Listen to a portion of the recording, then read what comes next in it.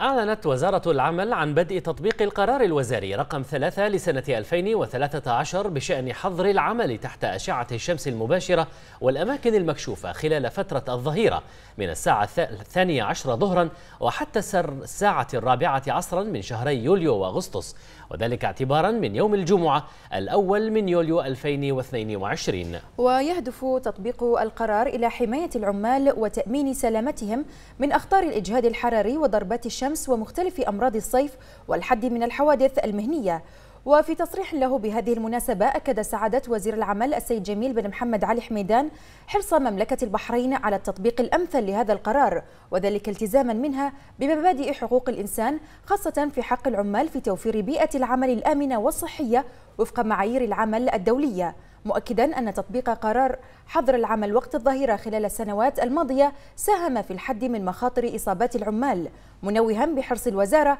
على عدم تأثير سير العمل بالمشروعات القائمة التي تنفذها المؤسسات والشركات وإنجازها في الأوقات المحددة لها.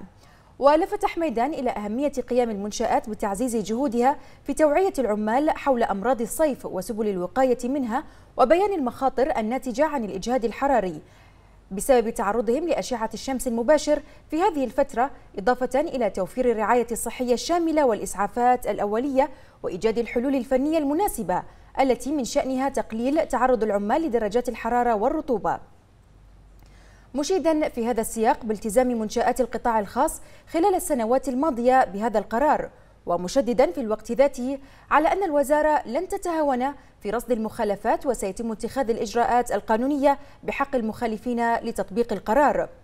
وقد بشرت وزارة العمل تنفيذ حملة استباقية لتعزيز التوعية لدى أصحاب العمل والعمال لبيان أهمية الالتزام بالقرار حيث تم في هذا السياق تزويد المنشآت بمؤشرات إرشادية وتقديم ورش عمل لمشرفي السلامة المهنية من منشآت القطاع الخاص لإطلاعهم على مستجدات ومتطلبات الاشتراطات اللازمة للوقاية من أمراض الصيف والحوادث المهنية في مواقع العمل.